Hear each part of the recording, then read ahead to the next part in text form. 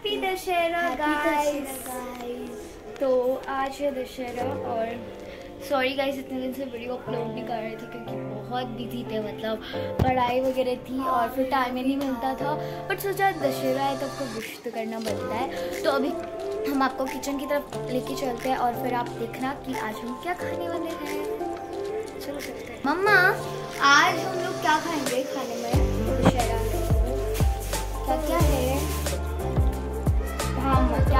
हाँ मैं तुमसे पूछ रही थी आज हम क्या खाएँगे? मम्मा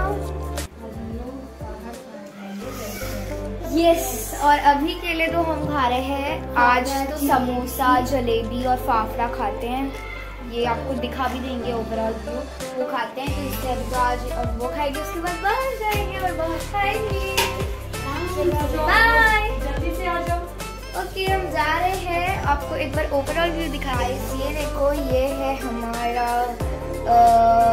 चटनी समोसा फाफड़ा और सॉस और ये तो, तो, तो। और ये जलेबी एकदम घी में तले हुए और ये टमाटर केचप।